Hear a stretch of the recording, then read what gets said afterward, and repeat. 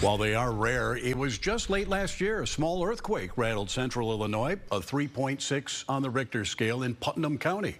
But people as far as Wisconsin, southeastern Iowa, and northwest Indiana reported feeling it. Well, did you know nearly 75% of the United States could experience a damaging earthquake? That's one of the findings from the new USGS National Seismic Hazard Model. It's a color-coded map of the United States showing where damaging earthquakes are most likely to occur.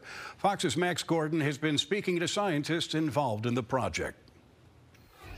It's important to note that we're still unable to predict earthquakes, but by investigating fault lines and past quakes, scientists can better assess how likely future earthquakes will be and how intense the shaking might be. All that info has gone into this model. As you can see, there are some places in the U.S. where there's a significant likelihood that a damaging earthquake will hit in the next 100 years. Areas in red have a 75% chance or greater of experiencing damaging earthquake shaking in the next century.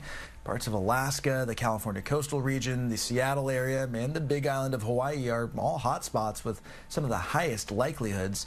But Americans elsewhere need to be ready as well. Nearly three quarters of the country could experience potentially damaging earthquakes, putting hundreds of millions of people at risk.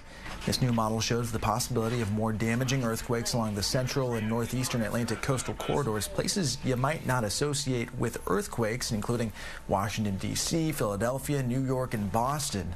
Those behind the project say they hope this information will inform architects, engineers, and policymakers on how buildings and other structures are planned and constructed across the U.S. And I think people might be um, surprised or interested to learn about their earthquake um, hazard, but what the real use of this model is for engineers and for building codes, right? So we want to build our buildings and infrastructure stronger for um, basically so that they withstand the next damaging earthquake. This is the first national seismic hazard model to include all 50 states.